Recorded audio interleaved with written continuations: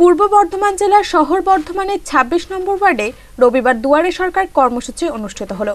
রাজ্য সরকারের যে সকল প্রকল্পগুলি রয়েছে, সেই প্রকল্পগুলির সুবিধা আগে যারা পাননি, তাদের জন্য এই দুয়ারে সরকার শিবিরের আয়োজন করা হয়েছে। ছাব্বিশ নম্বর ওয়ার্ডে দুয়ারে সরকার শিবিরের ফিতে কেটে উদ্বোধন করেন ওই ওয়ার্ডের নবনির্বাচিত কাউন্সিলর নাজবুন আরা বেগম।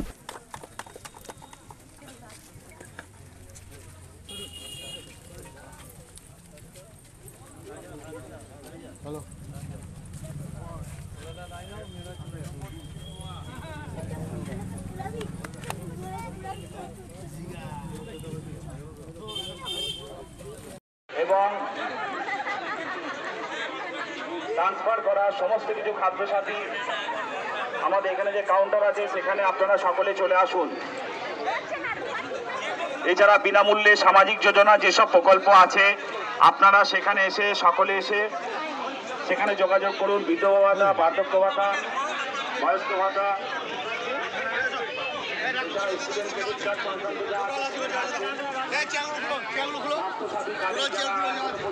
এখনও সেই প্রকল্পের আওতায় আসতে পারেনি অনেকে করতে পারেনি।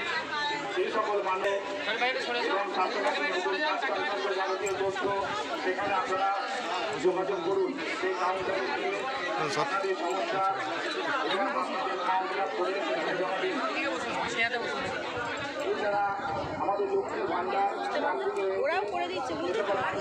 রাজ্য সরকারের জনকল্যাণমূলক পরিষেবা নিতে সাধারণ মানুষের উপস্থিতি ছিল চোখে পড়ার মতো।